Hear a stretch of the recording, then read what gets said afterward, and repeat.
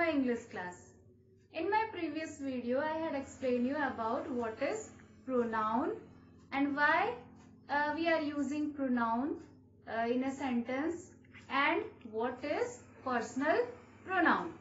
And in this video, I will explain you about possessive pronoun, reflexive pronoun and emphasizing pronouns. So let's start with possessive pronoun. What is possessive pronoun?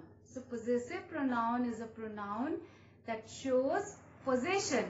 It shows ownership. Possessive pronoun वो pronoun है जो ownership दिखाता है अधिकार दिखाता है हक दिखाता है like here uh, I have written possessive pronoun. So in first person we are using mine as possessive pronoun. For example, this book is mine. So mine is a possessive pronoun. For first person plural, mine we are using for singular and ours we are using for plural. So this house is ours. Ours is a possessive pronoun. Then in second person, we are using yours for both singular and plural. For example, this pen is yours. So yours is a possessive pronoun. It, it is showing possession. Then in third person, sing, uh, pronoun, third person, singular pronoun, we are using his and hers pronouns. So, for his, this isn't my shirt, it's his. For hers, that car is hers. And we are not using it in possessive pronoun. In third person plural pronoun, we are using theirs as possessive pronoun. For example, those books are theirs. So theirs is a possessive pronoun. Now we will learn about emphasizing pronoun. Emphasizing pronoun is also called emphatic pronoun. Emphasizing pronoun is also called emphatic pronoun. And emphatic pronoun or emphasizing pronoun convey emphasis. Convey emphasis. Emphasis means put stress. It put uh, stress on the person who does the action. Emphasizing pronoun put stress on the person who does the action. And reflexive pronoun. What is reflexive pronoun? It is used as the receiver of an action. And for both emphasizing pronoun and reflexive pronoun, we are using uh, this. In first person, for emphasizing pronoun and reflexing pronoun, uh, together I am telling for first person, we are using myself. Uh, singular. For first person singular, we are using myself. For first person plural, we are using ourselves. Ourselves. S-E-L-V-E-S because it is plural. Then in second person, singular, we are using yourself. S-E-L-F. Then for plural, we are using yourselves. S-E-L-V-E-S. Yourselves. Then in third person, for masculine gender, we are using himself. For feminine gender, herself and then itself for non-living. And for plural we are using themselves. Spellings को आपको ध्यान से देखना है. So emphasizing pronoun or reflexive pronoun में what is the difference that I am going to tell you. Emphasizing pronoun used after the subject.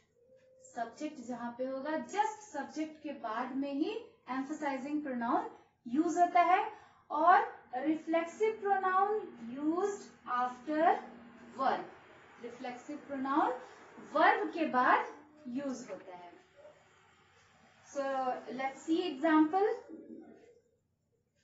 for emphasizing pronoun he himself signed the letter so here he is a subject and himself is a emphasizing pronoun because uh, because it is used after the subject subject के just बाद लिखा हुआ है himself इसीलिए ये emphasizing और emphatic pronoun है but in reflexive pronoun it will be used after the verb for example john helped himself so john is here subject.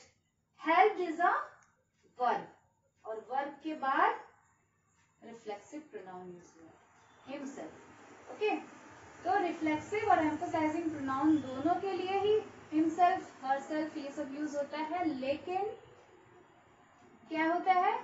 Emphasising pronoun में जस्ट सब्जेक्ट के बाद यूज़ हो जाता है अगर लिखा जाता है हिमसेल्फ सब्जेक्ट के बाद तो वो एम्फोसाइजिंग प्रोनाउन है। और अगर वर्ब के बाद हम लिखते हैं हिमसेल्फ यूज़ करते हैं तो वो रिफ्लेक्सिव प्रोनाउन हो जाता है। ना you see the second example I myself lock the door so I is a subject and myself is emphasising pronoun और emphatic pronoun then I hurt myself hurt is verb and myself Here it will become reflexive pronoun. इस difference को आपको याद रखना होगा। तो आप बिल्कुल भी मिस्टेक नहीं करेंगे। Next you yourself you is a subject and yourself is emphasising pronoun और emphatic